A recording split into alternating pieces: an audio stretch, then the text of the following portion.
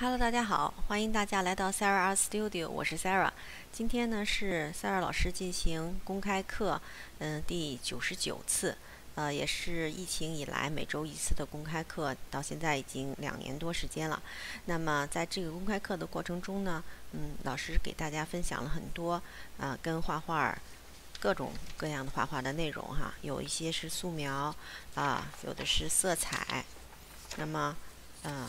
在这个过程中呢，希望大家能够呃有所收获。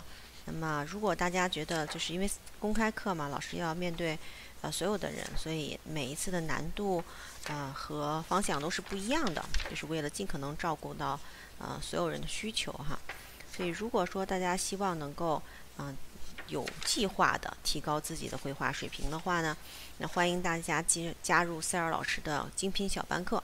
夏月老师的精品小班课是按学生的年龄和程度分班，那么能够给予每个学生呃个性化的辅导啊。每个人出现了什么问题，然后需要怎么调整、怎么解决啊？老师会包括制定学习计划，都是有针对性的，所以肯定能够最大程度到的程度上的帮助到大家。那大家如果如果有这种需求呢，欢迎大家加入 Sarah 老师的微信啊，Sarah 老师的微信是 Sarah 征五二幺啊，大家可以选择加一下老师的微信。嗯，上一节课我们画的是，呃，是 Easter Day 啊，我们的复活节的小兔子和小鸡。我们今天呢，打算带大家一起来画一组，呃，静物。今天这幅画开始的时候呢，我们要，呃，画的是一个茶壶哈。起形的时候呢，我们先要把茶壶大概的形状要给它画好，左右对称，在画面里在靠靠上的一个位置啊。然后它的壶把儿在这个位置，壶口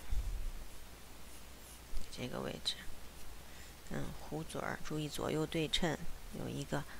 变小，好，先画成它的侧面。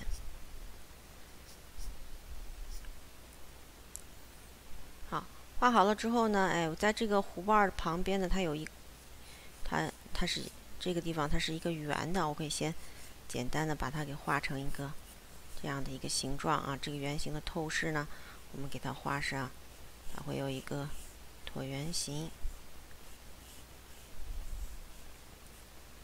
好，到侧面会收进去，哎，下面有一个边，也是椭圆形啊，圆形的透视。如果老师的精品小班课，老师会讲，因为圆形的位置和人视角的不同呢，会造成这个圆形透视有不同哈。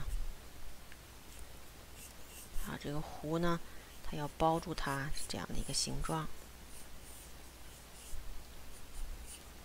好，壶口在这样一个位置。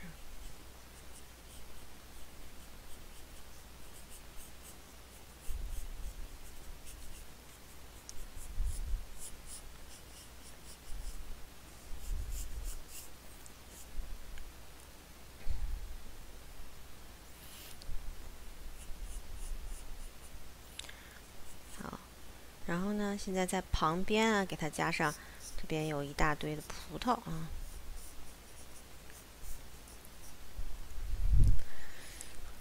一大串葡萄。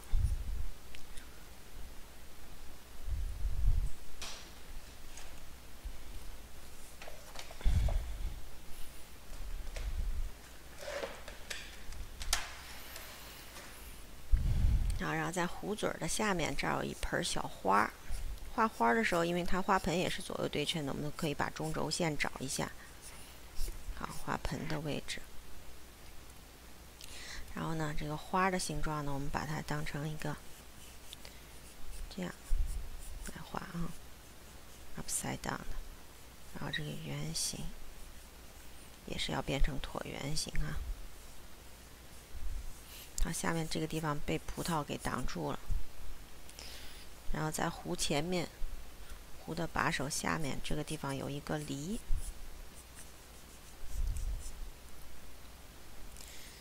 啊，这个梨的身体有一点点扭曲啊，这样，然后梨瓣儿，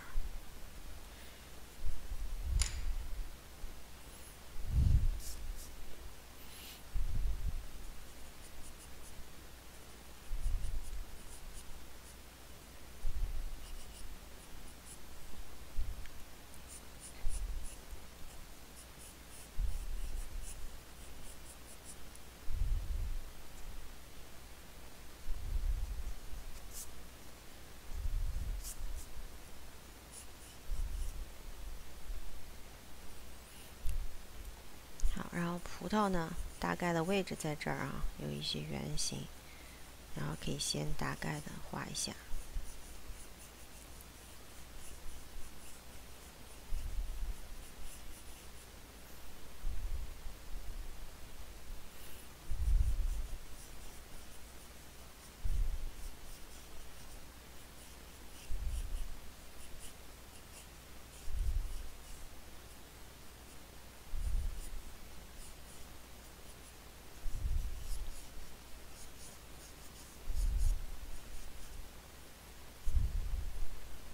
好，然后面挡住的这个杯子看不到了。中轴线画好了之后，可以不用了。好，这个花中间的叶子啊，然后它会有一些在外面包住它哈。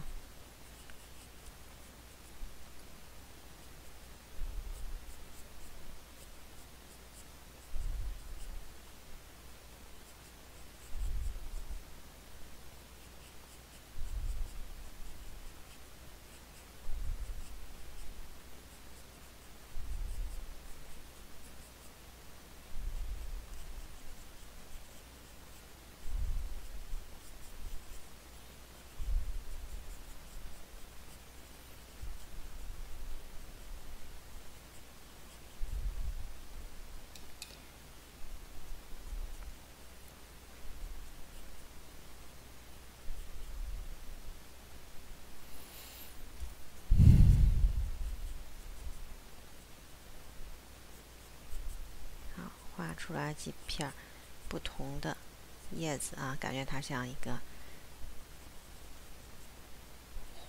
茶杯一样的形状啊，在这样顶上托住。好，这个这个杯子的口呢，它有一个厚度啊，把这个杯口的厚度画出来。